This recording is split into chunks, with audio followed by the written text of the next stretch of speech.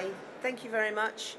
Uh, I also, I didn't realise I was going to be speaking to you all today, so I don't have a presentation. I'm afraid I'll speak to you about the, the company and, and wind power itself, but I don't have a presentation for you to look at pretty pictures, I'm afraid, so I'll apologise for that.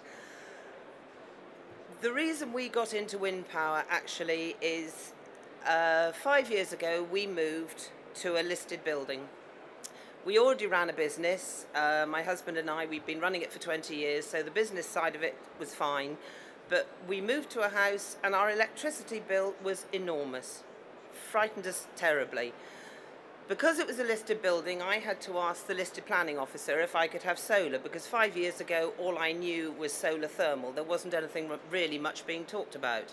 But I was told no, it was a listed building. I wasn't allowed to change the roof line, so no, I couldn't have solar. But he said you could have a wind turbine. And I thought, wind turbine? Do I want a wind turbine? One of those large megawatt things in a field? No, didn't think that was sensible at all. But he said, no, actually you can have a small wind turbine that purely makes electricity for your house. So you, you can make your own electricity. And the more I thought about it, the more I thought, actually, that's really rather nice. I'd like to make my own electricity. I'd like to not be beholden to the grid. I'd like to, to do it myself. So we looked into it but I couldn't get anybody to talk sensibly about it. Everybody wanted to sell me a solar panel because it's easy to put a solar panel on a roof. Nobody wanted to talk about a wind turbine, putting up wind turbines. So after a lot of hard work and running around, we eventually found that the only way of doing it was actually starting the company ourselves and actually installing wind turbines. Now, at that time, there were only two manufacturers really on the market who are actually manufacturing. One was Proven Energy based in Scotland and the other was a company called Iskra. Both turbines were fairly similar but we decided we'd go for Proven because we liked the look of their turbine a bit better. Uh, and to cut a long story short, we have now become the biggest distributors for Proven Energy in the country. We're based in Bristol. Uh, we have a network of installers that cover the country so we buy direct from the manufacturer and we also have installers. We install ourselves, but we also have a network of installers. The thing is with wind power, wind turbines are very emotive, as I'm sure you all realise. We deal basically in microgeneration, which is the small scale wind turbines. And turbines need two things. They need clean wind and they need a good wind speed. So in years gone by when planners have said, oh, go and put a turbine over in that wood over there so nobody sees it, of course the turbine didn't work, which has given wind power a very bad uh, name. If you put a turbine in the right siting, it will do very well. If you're in the country and the feed-in tariff is going to be excellent for people who have a wind turbine sited properly. If you have some land, you're a landowner, you're a farmer, you have a few acres and you can put up a largish turbine, the feed-in tariff will in, in, with a 50 kilowatt turbine, the feed-in tariff can mean that, that the return on investment is around about five years. So you'll get guaranteed income for the next 15 years.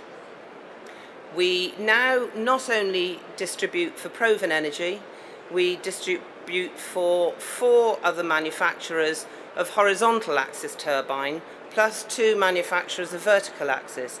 And the difference in the technologies, just briefly so that you can understand it, horizontal axis turbines mean the generator is horizontal. The point about those turbines is they are very, very efficient in the right place, but you have to give them the clean wind and a good wind speed. The turbine head will rotate to find the actual direction of the wind. So if you give a wind turbine turbulent wind, spends all its time looking for the direction and it doesn't produce. So for a farmer, landowner, you need a, hor a horizontal axis turbine which will work well. If you're looking at an urban installation, basically turbines don't work brilliantly in urban areas, purely down to the disturbed wind and the lack of wind speed.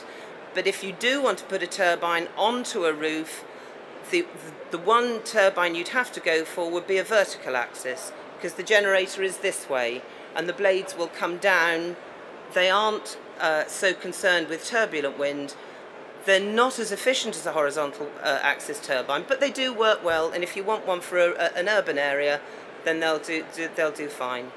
So basically that's what you have to remember. In the right siting, the right turbine will produce very, very well. Now I bought a turbine, this is how we got into it. We actually bought one ourselves, but we were missold it. I have a six kilowatt turbine, but the wind speed at my hub height, which is the height of the turbine, is under five meters per second, which is about 11 miles an hour. If you haven't got the right wind speed, please don't put up a turbine. I must be one of the only people that comes to a show like this. I can't sell you a turbine, and the vast majority of people I say, don't put up a turbine. If you're in an urban area, don't have the wind speed, don't have a turbine, it won't work for you. Put a solar panel on your roof if you've got a south-facing roof. But if you've got the right area and you've got the right wind speed, a turbine will work brilliantly for you. And that's me done. Thank you.